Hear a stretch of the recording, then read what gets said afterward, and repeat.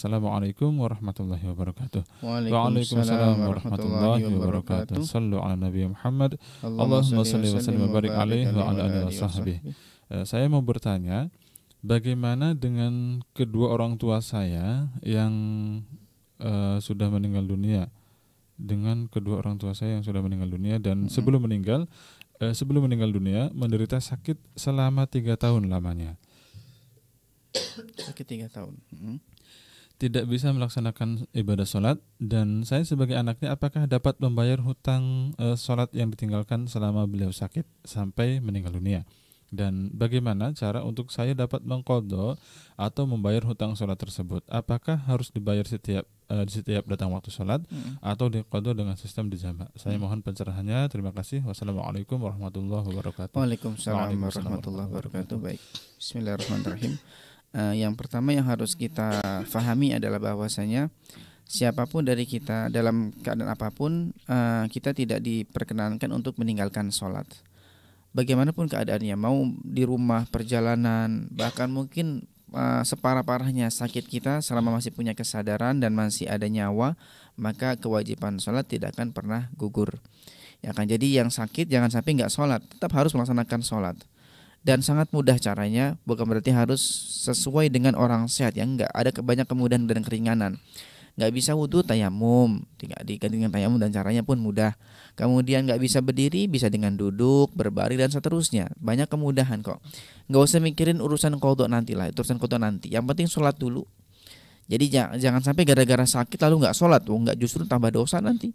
Nanti malah nggak dikasih sembuh ya kan? Jadi walaupun sakit harus sholat. Ini yang pertama yang harus difahami ya.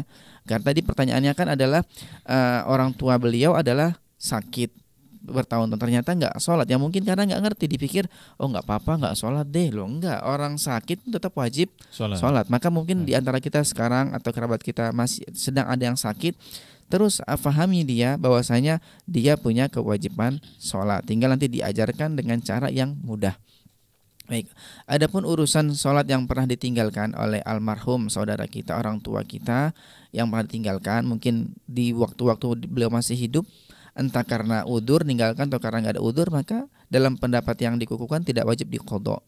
Beda halnya dengan puasa ya. Kalau puasa, kalau punya hutang tadi kayaknya nggak ditanyakan masalah puasa, kan tiga tahun padahal sudah lewat tiga Ramadan berarti kan ya, atau dua Ramadan. Baik, kalau masalah puasa selama dia masih punya kesempatan untuk mengkodok maka wajib dikodok gitu loh. Jadi misalnya sakit, sakit, sakit, sakit, sakit berapa hari atau berapa lama sakitnya, kemudian setelah Ramadan punya kesempatan buat mengkodok tapi nggak mengkodok, maka nanti kalau meninggal dunia ahli waris wajib membayar hutang tersebut entah dengan dikodoi atau dengan dibayarkan fit fidyah satu mut. Tapi kalau nggak punya kesempatan sakit terus setelah Ramadan masih sakit nyambung sampai meninggal dunia maka tidak ada kewajiban dibayarkan oleh ahli ahli waris begitu ya masalah puasanya. Adapun masalah sholat tidak wajib dibayarkan ya kan tidak wajib dikodok dengan sholatnya atau di, atau dibayar mutnya. Tapi dikatakan bahwasanya Al Imam As-Subki rahimahullah beliau mengamalkan melaksanakan kodok sholat bagi kerabat yang meninggal dunia.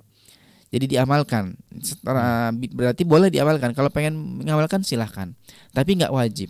Tidak wajib bagi ahli waris untuk mengamalkan. Beda halnya dengan puasa ya. Kalau puasa wajib.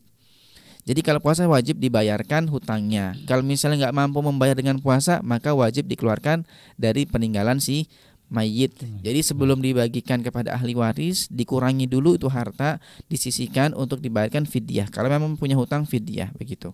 Tapi kalau puasa, kalau sholat enggak. Jadi jangan sampai nanti ah, ah, apa namanya eh, ahli waris itu mengeluarkan harta dari dari apa namanya dari peninggalan ini karena nggak wajib dikodok, ya kan? Kalau pengen dikodok silahkan Kayak seperti halnya dilakukan oleh Imam As-Subki. Nah caranya nggak harus di setiap waktu. Misalnya mau mengkodok nggak harus Subuh di waktu subuh Zuhur di waktu zuhur Asar di waktu asar nggak harus.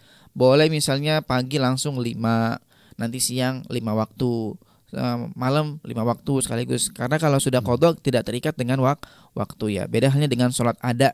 Kalau sholat yang bukan kodok Sholat ada itu harus setelah masuk waktu. Kayak kita pengen sholat zuhur Ya nanti kalau sudah adzan zuhur, sholat asar kalau sudah adzan asar tapi kalau Hmm. mengkodok di waktu apa pun boleh jadi kodok zuhur nggak harus di waktu zuhur boleh sekarang boleh malam boleh kodok subuh misalnya punya hutang ya sekarang boleh siang sore boleh begitu ya jadi Ya. masalah kodok tidak terikat dengan waktu. waktu. tapi andaikan mau tapi andaikan nggak dikodok pun nggak nggak masalah karena tidak ada kewa- kewajiban Kewajiban. ya karena itu masalah sholat wallahu alam bisawab Baik.